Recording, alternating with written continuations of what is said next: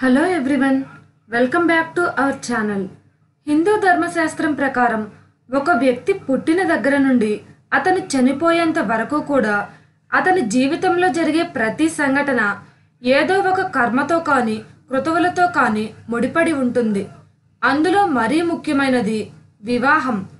హిందూ వివాహ ధర్మంలో ప్రతి ఒక్క వ్యక్తి పెళ్ళి చేసుకోవాలి. ఒకవేళ ఎవరైనా వ్యక్తి పెళ్ళి అవ్వకుండా చనిపోతే ఆ శవాన్ని ఒక జిల్లేడు చెట్టుకు కానీ కొన్ని ప్రాంతాలలో అయితే అరటి చెట్టుకు కానీ ఇచ్చి వివాహం జరిపిస్తారు. ఆ తరువాత ఆ శవానికి దహన సంస్కారాలను నిర్వహిస్తారు. మరి దీని వెనుక దాగిన పూర్తి కథనాలను గురించి మనం ఈ వీడియోలో తెలుసుకుందాం. ఒక వ్యక్తి యొక్క జీవితం హిందూ ధర్మంలోని వేదాల ప్రకారం నాలుగు దశలుగా విభజించబడింది. అందులో మొదటిది బ్రహ్మచర్యం అంటే ఒక వ్యక్తి పెళ్ళికి ముందు వరకు జీవించిన కాలాన్ని బ్రహ్మచర్యం అంటారు. రెండవది గృహశాస్త్రము. అంటే ఒక వ్యక్తి పెళ్ళి అయిన తరువాత తన భార్య పిల్లలతో కలిసి గడిపే జీవితాన్ని గృహశాస్త్రము అంటారు. మూడవది వన ప్రశాసనము అంటే ఒక వ్యక్తి తనకు యాభై ఐదు సంవత్సరాలు వచ్చిన దగ్గర నుండి డెబ్బై ఐదు సంవత్సరాలు వచ్చేంత వరకు అతను అపారమైన జ్ఞానాన్ని సంపాదించుకోవడం కోసం అడవికి వెళ్ళి శిక్షణ ద్వారా గాని తపస్సు ద్వారా గాని అపారమైన జ్ఞానాన్ని పొందుతారు.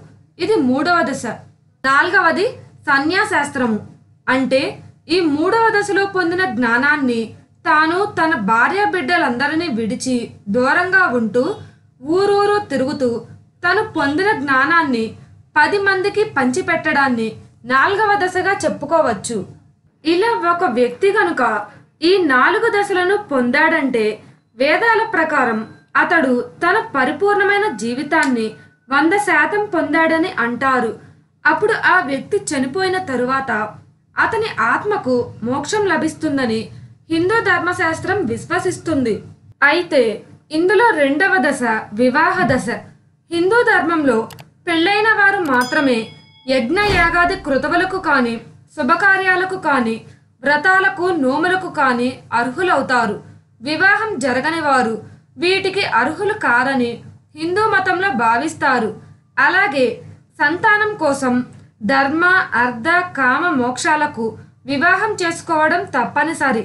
అందు కారణంగానే ఒక వ్యక్తి వివాహం కన్నా ముందు చనిపోతే అతని ఆత్మ మోక్షం పొందేందుకు ఒక జిల్లేడు చెట్టుకిచ్చి కానీ కొన్ని ప్రాంతాల్లో అయితే అరటి చెట్టుకిచ్చి కానీ ఈ శవానికి వివాహం జరిపిన తరువాత మాత్రమే ఆ శవానికి దహన సంస్కారాలు జరుపుతారు.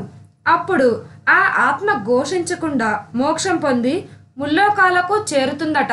ఈ వీడియో కనుక మీకు నచ్చినట్లయితే లైక్ మరియు షేర్ చేయండి. ఇలాంటి మరికొన్ని లేటెస్ట్ వీడియోలు మరియు అప్డేట్స్ కోసం నా యూట్యూబ్ ఛానల్ను సబ్స్క్రైబ్ చేసి పక్కనే ఉన్న బెల్ ఐకాన్ను యాక్టివేట్ చేయండి. Thanks for watching.